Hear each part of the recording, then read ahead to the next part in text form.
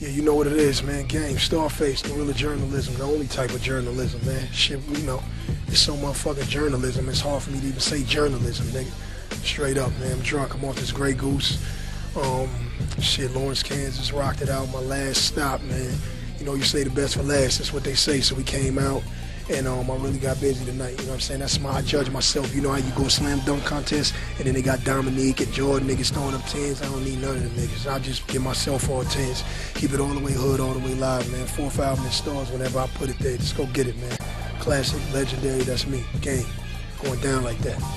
Yeah.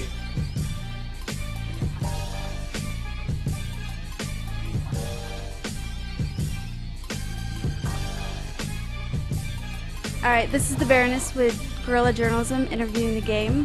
With this being your last stop on this tour, what can you tell us about the upcoming album that you're working on? Man, I ain't really, um, nothing really except that I'm working on album number four.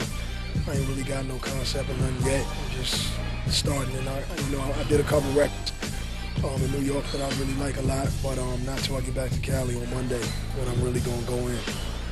That's dope. All right, and um, I've heard that you're an avid PlayStation player. Yeah. What is your PSN? Um, it's either L dash A dash X or um or um do not play me. Do dash not dash play dash me.